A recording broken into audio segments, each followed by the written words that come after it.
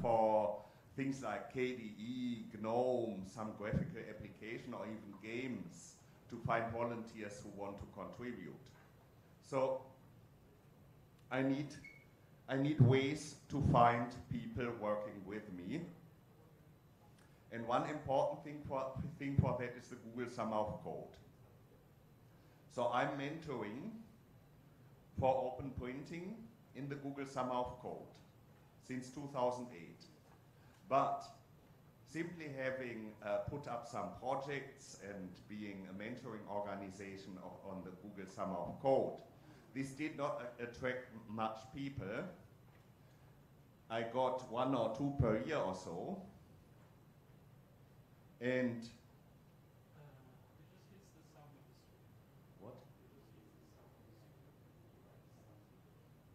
Yes, yes. So we had a sound problem on the stream, so I'm repeating, I'm doing the same again now. so can you give me another two minutes in the end? Yes. so, so in a uh, total of seven minutes. Yes, and now Hi, I'm speaking, uh, and I will talk about the opportunity open source a conference which I've organized in the, in, in the Indian Institute of Technology, Mandi, in the north of India, in the Himalaya, on the last weekend, on Friday and, on Friday and Saturday, some days ago. And this conference and, and now I want to tell you what the motivation was why I, am uh, uh, running, why I have run a conference at that place, there, up, up there in Mandi, which is a rather remote location. So, so I'm the leader of the Open Printing Project. So I'm responsible for, for printing, working in, in Linux and any other similar typically free software operating system. And and so I'm, I'm more or less the, uh, the printing guru for everyone here. And printing is not very attractive for volunteer contributors. It's very, very difficult to find people. It's much e easier for projects like GNOME, KDE, games, or graphical uh, desktop applications. So I need some, some uh, way to find more people. And so I'm mentoring on the Google Summer of Code for the so to, to, find, to, to find this way people to uh, join the open printing community. I did it since 2008, but every year I got only one or two applications. It's not much, and if, if they even, even are not very good students, I, end, I do not end up with what I want to have. But in 2015, Aveek Basu, who lives in Kolkata and worked at Lexmark that time, he met me on an open printing summit, the annual conference which I'm running for open printing. And,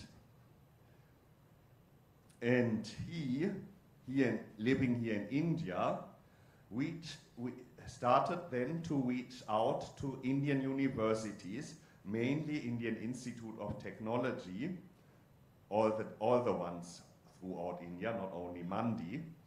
And this way he found more or less uh, more or less, he got more or less 150 to 200 uh, CVs. For, uh, and from these ones, the most suitable ones, he, uh, he, he put into our selection process. This is first compiling CUPS, doing a slight change on CUPS, and learning about driverless printing and so. Then in the next stage, uh, fixing, uh, fixing bugs in open printing code And after that, when they are good in all this, they get, they, they get a subject from us. And we get, this way we, we get to five to eight contributors each year. And of these contributors, most of them, they study in the IIT Mandi. And, and as we, with this, this event, want to, wanted to meet our students in person, we, we have decided to, uh, to go to the IIT Mandi to meet our students and not, and not only simply doing a meetup, but also to attract more people who were in the IIT Mandi who are studying there. We decide, I suggested to Aveek that we should run a conference with talks, with workshops, with panels. And so this was the start of the opportunity open source, the conference which I have which we, we have done last weekend in Mandi. And it, it needed some organization. We started the planning of the conference in early Ju June 2023. And, and, it, and we came to the idea to do this also because the DebConf is here in, in, in India. And so Aveek suggested to me, why not come to India and meet the students when, when I'm also attending the DebConf? And so I decided to attend here and also to, to go to Mandi. And then, we, and then I suggested to do the conference. So I had to, to, to uh, uh, coordinate the, the, my conference dates with the DebConf so that I can attend the DebConf and that the that my, that my conference is right before it so that I'm able to give this talk. And then one thing is when, on which weekdays should one, one uh, run a conference? For the students in IIT Mandi, it's the best to run it on a weekend because on weekdays they have classes.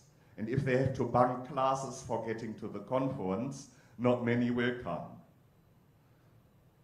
And then we have our open printing team, Michael Sweet, Ira McDonald, and Zdeněk Dohnal. Mike is the author of CUPS. Ira is the connection between open printing and the printer working group, a consortium of printer manufacturers and software companies uh, developing printing standards. And Zdeněk Dohnal, he's the, the maintainer for printing at, at Red Hat, and he does a lot of upstream bug fixing on open printing. And these, they prefer to be to speak on a workday. They didn't travel to here. They spoke remotely from home, and therefore they they uh, preferred a weekday and it should also not to be too early in the morning in the US, because when here in the morning, now, the people in the US are still sleeping. It's in the middle of, of the night for them. And so we had to find the best way. And so, and so in the we started thinking about the weekend of the 9th and the 10th, the last weekend. And then we added the Friday afternoon to it for the open printing sessions. And in the end, having, uh, when we knew how many talks we would actually have, we ended up only taking the 8th and the 9th and not doing the Sunday. And then Aveek and me not, not being every day, not living or, uh, at the IIT Mandi, not being every day there, we cannot organize a conference there alone because one needs someone who is at the place to get the rooms, to uh, to book, uh, to get the to, to, get lecture halls, to give the talks, to to book rooms in the guest house where we can sleep, and to find volunteers who do the AV and, and watching remote attendees questions, mic runners, and so on. And also I organized, uh, organized our food during the conference. It's also important that food gets ordered and so that we have something to eat through these days as one cannot simply go out into a restaurant in, in the IIT Mandi. It's completely isolated from the rest of the world. So, so then I want really say, and this was Akarshan Kapoor. He's also currently Google Summer of Code student adding uh, scanning support to PAPPL for to do to, to be able to do driverless scanning. And so I want to thank a lot uh, uh, for doing all this. And then another point is the infrastructure. A conference needs a website, and our conference needed also the possibility to speak remotely, because, especially because of the open printing people. And also we want to, to, as one does it in a modern conference, record the sessions and live stream the sessions, as we are doing on this conference. And so, so um, and Canonical has a very nice community team. This community team has already run the Ubuntu Summit 2022 with all this. Also, they, uh, also at Canonical we do video shows, the so-called Indabas, and therefore they have, they have this infrastructure and so once they have given me uh, Canonical's Indico to get the website with the schedules, with the call for proposals and so on, and they have given me Canonical StreamYard, the, the system behind Ubuntu on Air, so that I can do the recording, uh, remote speaking and streaming.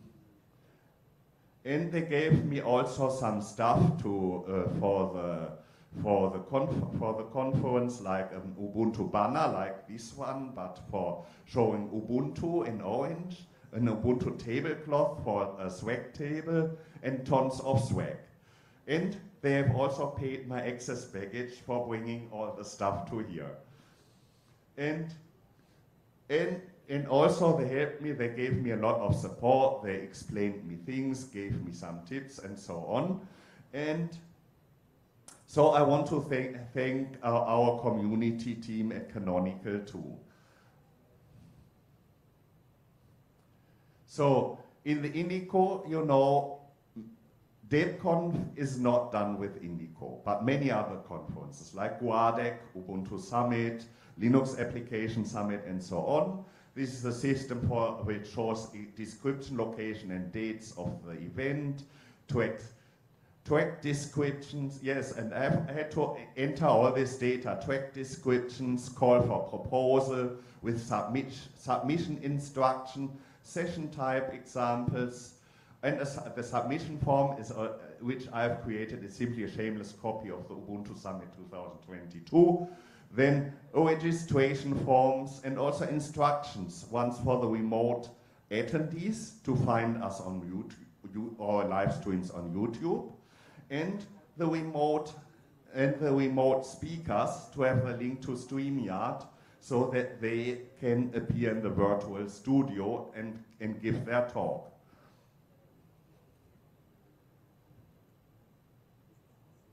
Yes, StreamYard, Ubuntu on Air. As I told, the Ubuntu, Ubuntu Summit 2022 was live streamed had support for, for uh, remote speakers. And this is, and, and also we have the Ubuntu desktop team Indabas, which are video shows where my former colleague Heather Ellsworth was uh, interviewing uh, important people. She also, some years ago, even in, also interviewed me because of open printing. And so for this, we have a StreamYard in infrastructure. StreamYard is a service on the internet which provides a virtual studio where people log in and so their webcam image is added to a, a, a video stream which is live streamed and the organizer, the, the director, the host, can uh, add persons, remove persons. The persons can only share screens and, and put up slides and images and videos and so. And the organizer is composing this. It's a very easy interface so that he, he can quickly switch the things uh, to fit, fit so that it can be streamed live without uh, uh, un, un, without interruptions for for switching things, and and so we could we, we had a very nice live stream. It looks much nicer and much, it's much easier to operate than Big Blue Button, which is the system what Linux plumbers and Guadec use. And with this, I have also already done a live a live uh, uh, a live show. And, and this system connects the video streams and makes one video stream, which we once stream live out for the remote attendees. And uh, we also have projected this stream. This was the projection on our screen so that the people see the slides. And, and also everything, every media which the speakers are showing. And one thing also is the, the remote attendees can type comments in the comment section of YouTube or, or Twitch, and we see the comments on StreamYard, and so we can once display the comments in the stream so that the spectators see them, and then answer the questions li live speaking on the stream. And the streams come out both in YouTube and Twitch. And now, where the event is over, at, the, at these places you find the recordings under the same URLs. And then we had to, uh, to find what sessions we are, what sessions we are doing, the program, the content of the event. So we did a call for proposals, but do not get many proposals there. So it was not so that we had a tons of proposals and have to select the best ones, as at uh, usually at international conferences like Ubuntu Summit or, or Guadec happens. So then uh, I define, me and Aveek define the main subjects and invited the the speakers we needed for it. We had an open printing track where Michael Sweet and me were speaking. We had a Zephyr track. Zephyr is an a lightweight operating system for microcontrollers for these systems where Linux is too heavy for. And there Kate Stewart, Susan Remmert, Jonas Remmert, and Oliver Völkers were speaking. These are the most, the, the, more or less the heads of the Zephyr project, the most important people there, but no one was traveling. They were all speaking remotely. And yes, and Michael Sweet was also speaking remotely. And then we have uh, also immutable distributions. There were, I was speaking about Ubuntu Core Desktop and Rudra Saraswat was remotely speaking about uh, Blend OS. And Rudra is here. If someone wants to meet Rudra, he's here on this conference, on the DebConf. And then we had a work at Canonical panel, which I have hosted. And there were three canonical people who live in India traveling to Mandi, and they were with me on the panel. And so we were talking about how it is to work at Canonical. And then we have had also two interactive workshops. One was getting started with Zephyr, remotely uh, with, with uh, by Jonas Remmert. He talked remotely and the people in the room were doing exercises on their laptops. And we had also one person, Akarshan, who knows a little bit about Zephyr too, and he has helped them on the spot. And then there was another workshop about packaging applications as snaps, which I, uh, which I did. And we had some challenges with it. The, the most important is the IIT Mandi is rather remote. It's in the Himalaya, and the next airports are Chandigarh, which is five hours driving, and Delhi, which is 10 hours driving. So this can, can easily make speakers he hesitate to travel. And then this DebConf is running closely after the mo uh, monsoon season. The monsoon season is principally over, but the DebConf is very close after it. And as I coupled my, my, my dates to the DebConf so that I can make it in one trip, I, I'm also very close after the, the monsoons. And in the news we had in, in the weeks before, we had a lot of, uh, a lot of times where, where there were heavy rain, rainfalls and landslides on the roads leading up to Mandi. And so several speakers like Rudra Saraswat were afraid of traveling to there and were pre preferring to speak remotely. And also, we had also take, to take into account if we had actually the he still heavy rainfalls the last weekend, we even would, uh, would have considered to cancel the whole event and to rebook my flights to get directly from Kolkata to uh, Kochi instead of going to Mandi. And so, but actually the monsoons are over, so it, the probability that this catastrophe happens is very low. So we feel very safe that we could travel. And that by my organization of, of the conference, I would not harm or even kill anyone.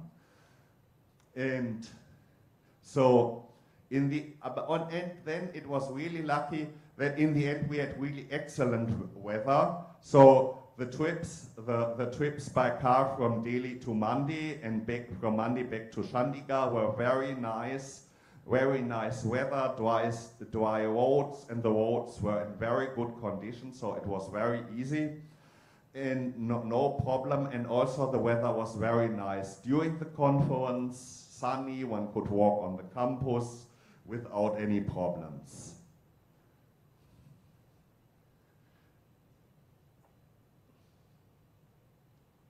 So now let us see some pictures. This was on the road trip between Delhi and uh, between Delhi and uh, Mandi, and stopping at some restaurant for dinner. I did last schedule, last last changes in the schedules, taking uh, into making use of that I have table for the laptop. I've I during in in the car I was also most of the time on the phone talking with uh, the Zephyr people because they up to then still did not finalize how, how and what they uh, how they would give their talks and what they are talking about. And then at 2 a.m. in the morning, we arrived with our uh, we arrived with our driver Man, the IIT Mandi, the guest house. And what happened is several students stayed awake to receive me. So they stayed awake until 2, 2 a.m. To, with, to, for my arrival at Mandi. Probably they are all, and they told me they're talking about me me a lot there in the IIT Mandi. I'm well known there. Perhaps I'm a little bit a celebrity for them. And so they were all there. They were even carrying all the heavy baggage into my bedroom and they were very, they, they, they were very happy that I, I arrived and, and, we, and we meet in person. And here you see the perfect weather and the landscape. It's really in the middle of the mountains. And here you see all the swag. It's one bed in my bedroom, the other bed uh, I used for sleeping at the night and you see the many notebooks, caps, stickers, Zephyr has also uh, uh, contributed this, these kites. And you see the banner and the tablecloth also, and this is all what I bought. And Aveek brought, and some things like the, like the kites and some, some also some other swags was brought by Aveek. And here, the tablecloth did not make it to a table, but but, but was used as a flag to show the entrance to the event. And here is our main, uh, our main uh, conference room. It's a little bit more filled up like here. Here it's a little bit empty. And here you see around 100 attendees in the room, all of them eager to, to see me and Aveek and to, to have, uh, and to have this conference. Here, but we had also some technical problems. The StreamYard on my laptop and my, my camera, which you see there on the tripod, is it's a photo camera, which I use as, uh, as webcam with, an, a, with a USB capture device. This worked all perfectly, but the sound of the room was really a problem. We could not connect simply the, the headphone output of a laptop with some input so that the laptop sound was on the speakers. This would have been the easiest, as one can could then simply take the the laptop, which was the director of, of the StreamYard session, which was the which was this laptop here on the picture, then it had been very easy. But this did not work, and so our AV guy has taken a microphone of the room and held it against a Bluetooth speaker, which was connected to the laptop. And also, the projector was a problem. It was probably rather old, and it, we have connected something like 10 laptops until we found one which actually projects via HDMI. And so we started something like an hour late because all this stuff did not work, and we could not prepare it earlier because the rooms were busy with, with classes all the time. So apologies when you see the, record, the recorded streams and the beginning is chaotic and the first talk not starting. Fast forward a little bit, it was our technical problems. We had to, we had to cancel two talks because of that, but otherwise it worked then. Here we have a talk, here, now, we, here we had a talk to get started with open source by Shuah, Shuah Khan from the Linux Foundation. She's, she was speaking remotely. Here you see it was in the second, uh, in the second uh, conference room, the Zephyr track. There was an introdu introductive talk and an interactive workshop and everything done with remote speakers. No one of the Zephyr team was traveling.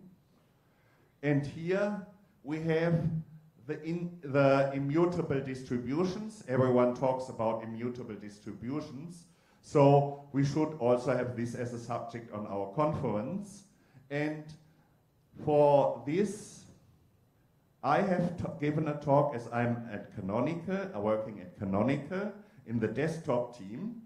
And I'm much involved in, with Snap because I have uh, made snaps of cups and of, of printer applications, of the whole printing stuff. And with this, I got a Snap enthusiast. And so, and also my, my next plans for the snaps uh, of cups and the printing stuff is getting them in Ubuntu Core into Ubuntu Core Desktop. So I was talking about Snap and Ubuntu uh, Core Desktop, and I had Rudra Saraswat. He, unfortunately, due to the the uh, due, due, to being afraid uh, of the bad weather, spoke only remotely, and he talked about Blend OS. So, and if you have questions to Blend OS, find Rudra on this conference, here on the DebConf. And then we had not only coding, but you can also uh, contribute for, for documentation, for example. So we had also sessions about documentation, like here, Dimple Kuriakose. She is, she is in Canonical's uh, documentation team, and she gave a talk about documentation. Then this was, was the panel about working at Canonical. I was hosting it and had three uh, Canonical employees around me. And we talked about the experience uh, at Canonical as the work, work from home pi pioneer. And uh, we talked about the, the fun we have when we're on the on the engineering sprints when all the canonical employees meet in one huge hotel in one city when they're traveling twice a year for that. And also about the uh, candidate selection process because canonical is uh, is already a very large company and and so has a lot of job opening. They are currently hiring in contrary to to other, other IT companies. And, and every, every position they offer, they offer worldwide because of the work from home. So they have many candidates and many applications. And so they have a selection process and people and the other people there were recently hired so they know how they uh, through what they uh, have gone and they have explained this also. And here, this is the SNAP workshop. I've given an interactive workshop about how to package applications as Snap.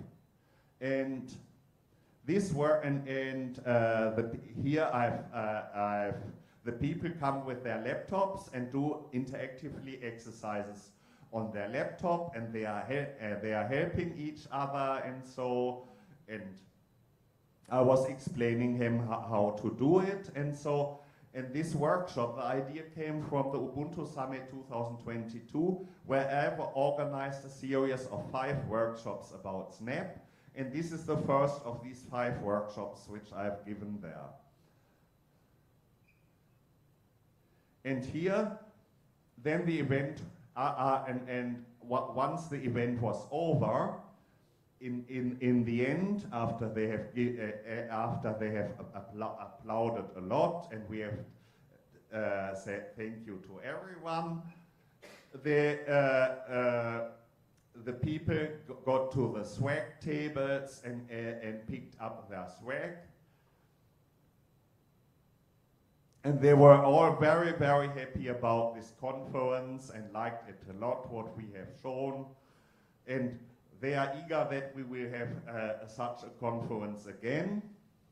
And here,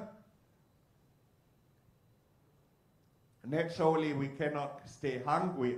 Naturally we cannot stay hungry uh, during these day, uh, two, two, two days in Mandi. And Akarshan has, has, has very nicely organized that we get something nice to eat, especially in the mess of the, of the IIT Mandi. There was only, only vegan here. This is in the mess. You see these prison-like uh, uh, trays.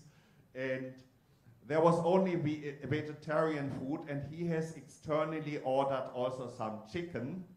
And so we could add it, and so we had a more rich uh, lunch on the first day. And here we were in the in the canteen. Uh, this is a, a, little bit class up, a little bit premium economy. You see the plastic trays, and here our our our first dinner we had in the IIT Mandi after the first conference day. It was in the second conference room, and we have put the school benches e e against each other to make a dinner table. And on the right side, this was also nice. You see this simple, you, see the, there was on the, on the uh, campus of MAN, of the IIT, was some simple building which from uh, the outside looked a little bit like a house of very poor people. And there was a very nice restaurant. It was really delicious. So uh, Akarshan really knew, knew the nice spots and the ways who get who get the best for the guests to get something nice to eat. And also for this, I want to thank him a lot. And here, our group photo. And it was really an a, incredible experience, a lot of fun organizing this and actually running this last weekend. And I want also to thank to everyone who has, who has contributed to this so that we could, could really turn this re reality. And so we have completed our mission perfectly and we will come and, and we will for sure come back. Yes, anyone, any, any questions about organizing conferences or, or Google Summer of Code or, some, or, or something similar?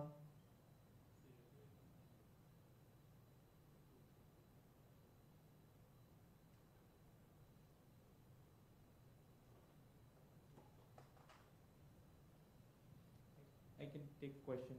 Yes, yes. Yeah. So, uh, uh, how do you have reten- How do you have retention of people after GSOC? I mean, when they contribute in GSOC, how do you? What makes them stay after GSOC?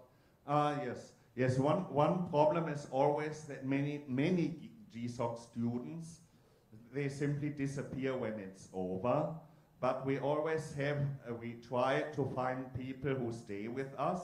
Once with the onboarding process, we make them very familiar with our code. And then when we, uh, when we, and, and then we naturally do also a, a, a good uh, mentoring with them so that, that they like their projects and like to work on it. And we involve them with upstream, for example, the one who does the GNOME, the, the printer setup tool in GNOME Control Center. We, we, uh, we involve him really with, uh, with the GNOME developers who are then supposed to accept these changes. And we try to integrate them as best as possible in, in, in our team to motivate them. But not always it, it works out, but several are staying, not all. Unfortunately, only the smaller part. Especially, probably, it's also that when people are a student, they do easily also voluntary work like working on an open source project. But when they arrive at the point when they, uh, they get their first job after the course, they concentrate on this job and, and stop doing uh, any uh, voluntary uh, IT work.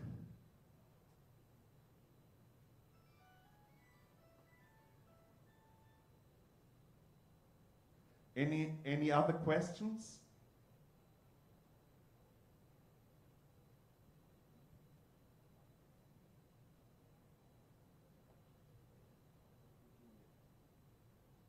So seems that no one has other questions.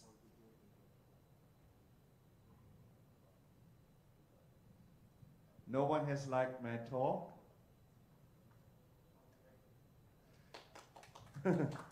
Thank you. Thank you very much.